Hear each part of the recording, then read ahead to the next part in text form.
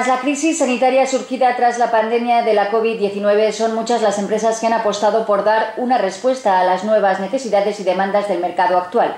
Higienecare es una de ellas. Empresa dedicada a la fabricación de pañales, ha abierto desde la pasada semana una nueva línea de trabajo dedicada a las mascarillas higiénicas. Estamos en Higienecare, estamos presentando la máquina de mascarillas que hemos adquirido en estos momentos estamos fabricando eh, mascarillas higiénicas de acuerdo con, las especificaciones UNE 00641 y el proceso es muy sencillo. Estamos fabricando mascarillas higiénicas de tres capas. Son dos capas, una exterior en color azul, una interior que está en contacto con la piel y otra que va entre las dos que es actúa como filtro. Otro de los materiales es el que hace de puente para, la nariz. El proceso es muy sencillo, es una línea principal por la que pasan los materiales y que quedan fijados mediante ultrasonido.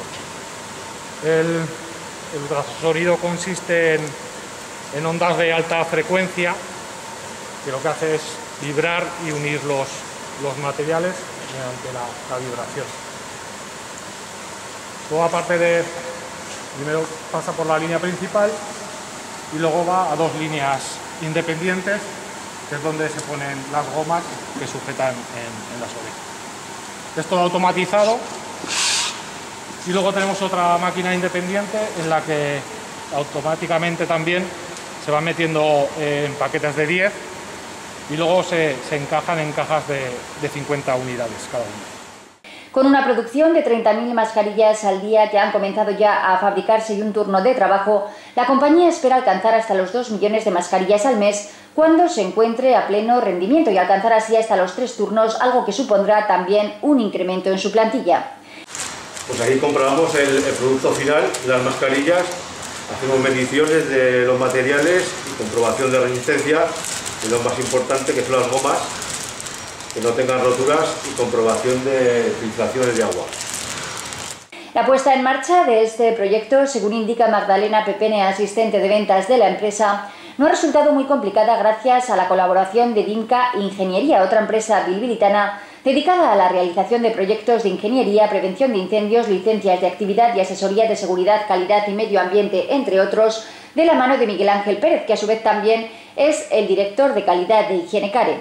En un principio, las mascarillas higiénicas se distribuirán en los supermercados a nivel nacional, aunque la compañía también se plantea la posibilidad de introducirse en el mercado internacional, según la demanda, al disponer de equipos comerciales internacionales para la distribución de sus pañales. ¿Cómo surgió la idea de crear una nueva línea de trabajo para la fabricación de mascarillas higiénicas?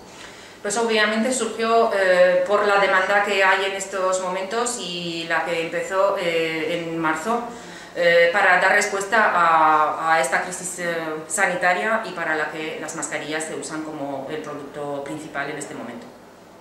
¿Desde cuándo está en funcionamiento esta nueva línea de trabajo? Pues está en funcionamiento desde ayer mismo. inauguramos la máquina y ayer tuvimos la primera producción. ¿De qué producción estamos hablando? Estamos hablando de, unos 30 de unas 30.000 mascarillas diarias, la máquina tiene una capacidad de 2 millones de mascarillas mensuales, con lo cual ahí eh, ese es el objetivo al que queremos llegar. Porque ahora mismo, ¿a qué capacidad de trabajo está trabajando la máquina? Pues eh, a un turno, con, eh, a un turno estamos trabajando y sacando pues, el número de mascarillas que os he, os, he, dicho. ¿A, qué, ¿A cuántos turnos se espera que se llegue? Y esto a tres turnos, obviamente, sí. Sí, ¿y esto va a suponer un incremento de plantilla para la empresa? Sí, sí, eh, obviamente de momento estamos trabajando con la plantilla que ya teníamos eh, eh, y con los que estábamos trabajando para el producto base que tenemos nosotros y obviamente vamos a tener que ampliar plantilla. ¿No sabéis exactamente en qué número? En este momento no, no podemos dar este dato porque no sabemos exactamente. ¿Qué inversión ha supuesto para la empresa esta nueva línea de producción? Eh, pues eh, fue una inversión de unos 300.000 euros eh, en los que bueno, estamos hablando tanto de la máquina como de la puesta en marcha, del espacio que se ha, se ha tenido que habilitar para la máquina. fue muy complicado el proceso inicial de adquirir la máquina y conseguir eh, la materia prima o los suministros necesarios para comenzar la fabricación.